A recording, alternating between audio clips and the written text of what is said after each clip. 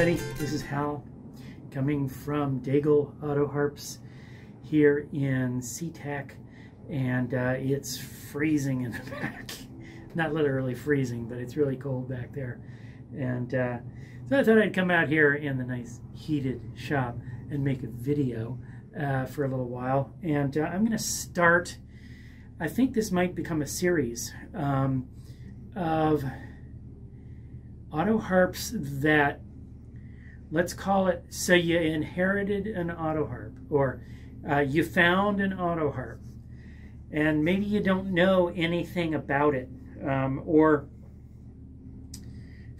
I don't know what to call it. You, you have acquired an auto harp. Maybe you bought one online and uh, you're not sure what you got and you're not sure you're not sure if what you got is viable um, because you're new to all this and so I'm going to be showing you um, over a series of videos, um, then there might be a lot of them because there's a lot of variance in this, all the different things to look for on various auto harps that are old and um, uh, perhaps in disrepair, perhaps not. What's good, what's not. How do I know? Um, what do I look for? Things like that. And um, we get people coming in. We had a guy come in right in this front door um, about two weeks ago. He had found an auto harp by the side of the road. Gee, I guess I'll take you down to that auto harp shop. And uh, he comes in, and I look over his auto harp, and uh, uh, it turns out it was pretty fixable. And um, we continued to, we worked on it and got it fixed up, and he went out a happy camper. Um, but a lot of people pay good money for an auto harp that they get online and they get a clunker. And the person selling it didn't know. And they didn't know either when they got it until they um, something went wrong with it. And so I wanted to show you some of the things that go wrong. And today I've got this guy right here. And uh, this is a, uh, it's actually a body of an auto harp. Um, originally had a chord bar cover on it, and the um, the damage was hidden. So uh, I'm going to adjust my camera here so that you can you can look at it while it's on my table. Okay, so this auto harp had a chord bar set on it, and uh, I've got a cover right here that I'm just going to put in place so that you can see, you know, the the average auto harp. You know, all of this area is covered, and so you don't know. Where's the sound hole? No, that's not damage. oh my gosh, the, the sound hole went away. Now, for a certain amount of time, some auto harps were built without sound holes. They still sound okay too. And this auto harp would sound excellent. Um, this is a B model auto harp, if you don't know. Uh, the way you can tell is it's got this, this um, anchor down here that's made out of aluminum with slots in it. That's one giveaway. The other thing is that the, the strings run over these little posts right here that are called uh, bridge pins. I'm talking about these right here. Other auto harps have a, um, well, here's one right here. This one has a bridge instead. If you look, it's got this, this um, um, stick of wood right here with individual pins on it. This is an A model harp. This is a B model harp.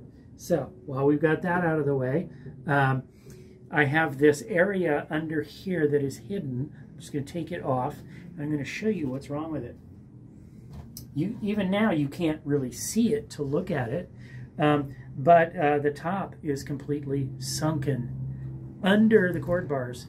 So the seller couldn't see it. It didn't show up in the photographs. You can see the line. You see the line there. Actually, it's darker on this side. Um, I'm going to put it in right next to the strings. And you'll see that, that that line that I drew with the pen is basically right about the level of the strings. I'm touching the, soundboard. Now watch. Boom. You see that? How it's sunk down? And you can see how under the keyboard label there, it's totally bowed down. So, you ask, is it fixable? Is this one salvageable? Um, well, what we got to do is we got to look under the anchor. I'm going to show you um, the clue first to look for. Um, the problem here is the anchor is coming out. And this is what we find is um, going on with um, many, many of these um, Oscar Schmidt auto harps that are, you know, around 50 years old or so. Um, they are, the anchor is uh, working its way out because of the constant pull. I've done videos on this before and I've even showed how to repair it. Um, this anchor is starting to pull out like this because the strings have been pulling against it. It's tuned, it's actually over-tuned, um, and it's been that way for 50 years, and it's been sitting in uh, a damp cellar or a damp attic, who knows, and it's been pulling, pulling, pulling, pulling, pulling. Oscar Schmidt didn't know that this was going to happen. Um, um, but sure enough, here as it's gotten older, and these are the good harps, we want to rescue them if we can. I'm going to show you what's going on, and we're going to have a little fun. And uh, stick around because I'm going to chop the strings right off with these snips right in front of your very eyes. And this is hard, to, as you can see, this is hard to get at, and it's hard to see. And a seller's got, not going to know to do this. And you're not going to know to do it when you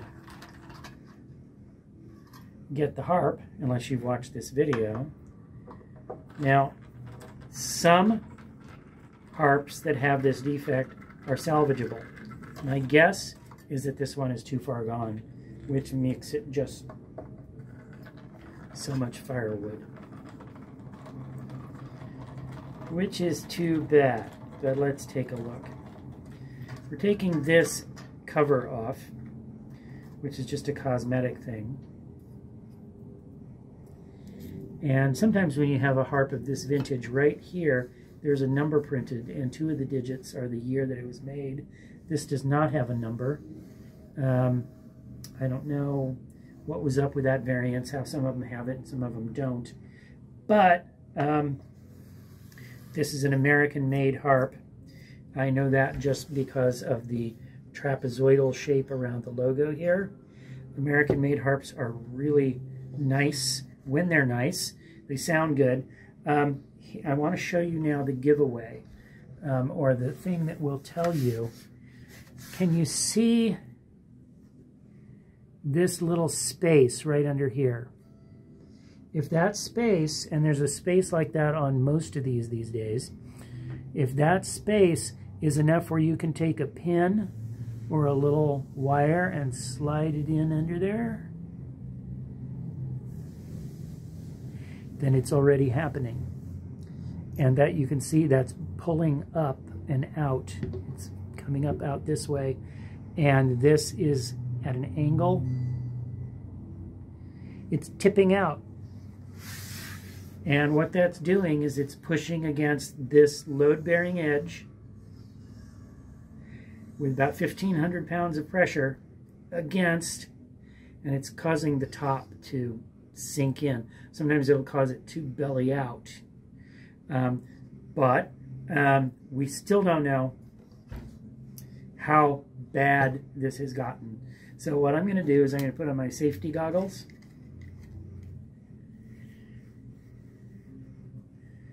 Drum roll, please. You ready? Here we go. I'm just going to chop these right.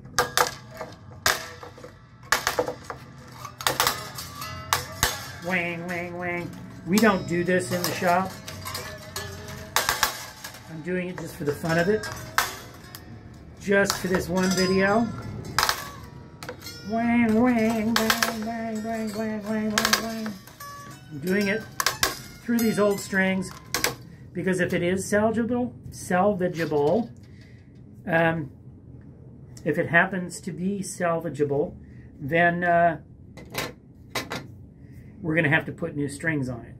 And if it's not, then it's going in the garbage. So it doesn't really matter. But now this will come out. And we can lift this out and look at the damage to the load-bearing edge.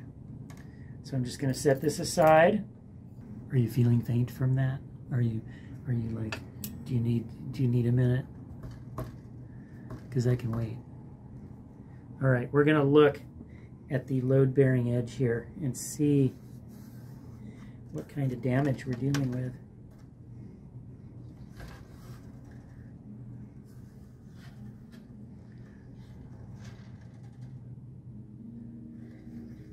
First of all, you can see that it has actually cracked up here.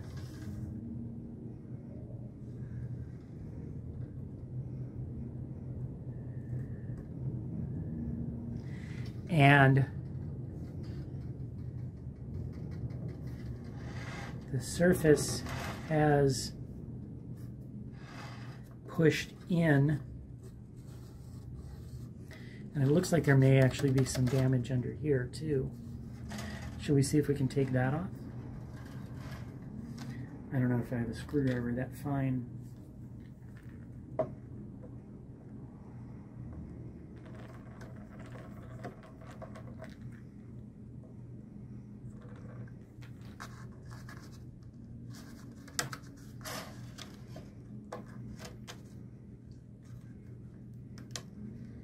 This one's turning right out. It's all corroded. So this harp has been probably in some pretty intense moisture.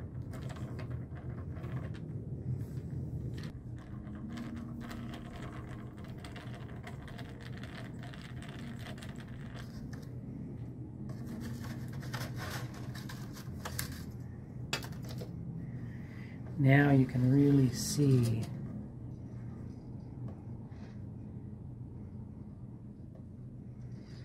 the dip in that top. The light changing off the surface of this, the reflections going into the camera are making the color change.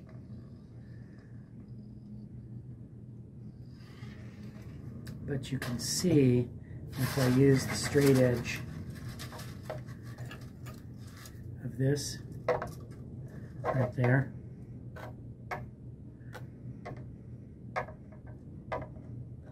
you can see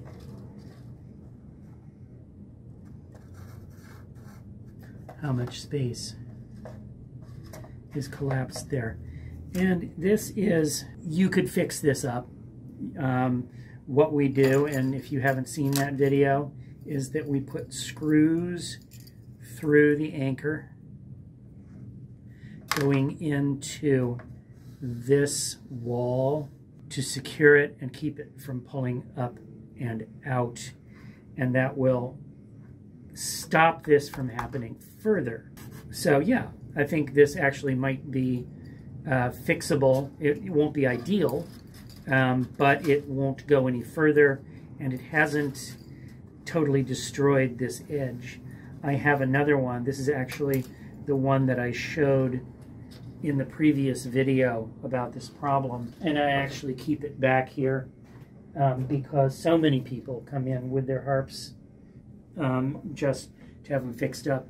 And I have to show them this harp so I can show them why it needs to be done.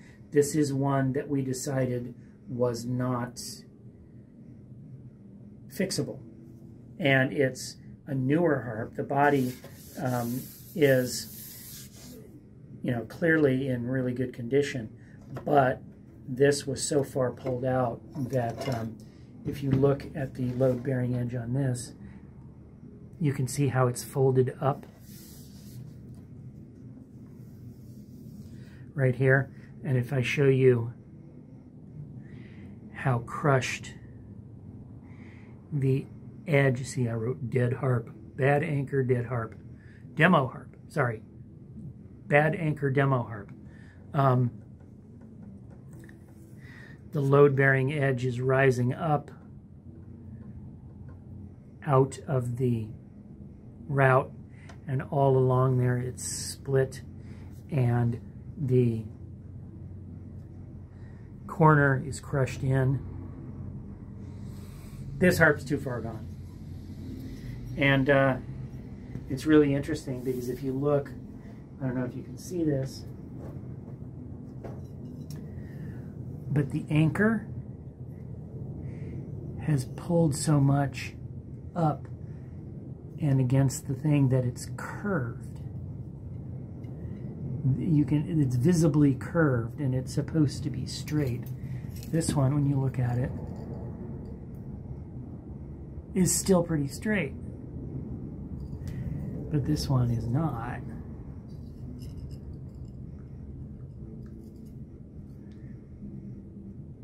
And so it just warped out from all the string pressure on it. And this will happen to any B model, and we're seeing it now in the vintage ones in about half of them, and suggesting that if it's not happening, that it might well be happening soon um, because it's coming up more and more. And because these vintage auto harps are so good, the boxes sound so good, we want to preserve them because the new boxes are not going to sound that good because they don't sound that good now and they never will.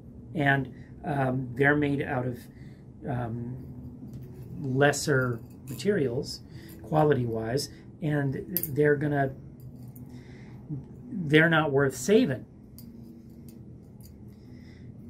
but these old ones that haven't gone bad um, fix them before it happens.